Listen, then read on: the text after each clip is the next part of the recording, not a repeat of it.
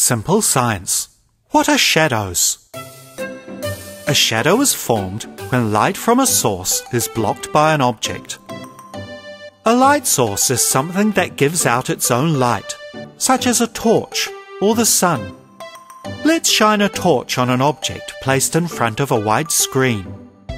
The light travels in straight lines from the torch to the object, but it can't get through the object so a dark shadow is cast onto the screen, showing the light has been blocked.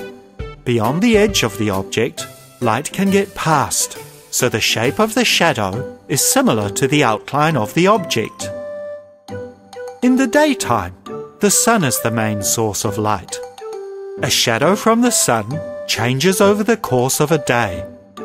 At sunrise, when the sun appears low in the sky, the shadow is long at midday, when the sun appears highest in the sky, the shadow is shortest. And at sunset, when the sun appears low in the sky, once again the shadow is long. Shadows change in a similar way every day, as the sun daily appears to rise in the east and set in the west. The higher the sun appears in the sky, the shorter the shadow. Actually, the sun is not really moving across the sky. The Earth is rotating on an axis running through the North and South poles once every 24 hours. And that is what gives rise to the change in length and direction of shadows over the course of a day. If you compare objects made of different kinds of materials, you will see they cast different kinds of shadows.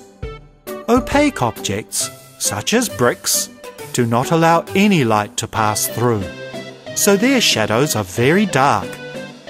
Translucent objects, such as paper tissues, allow some light to pass through, so their shadows are not as dark.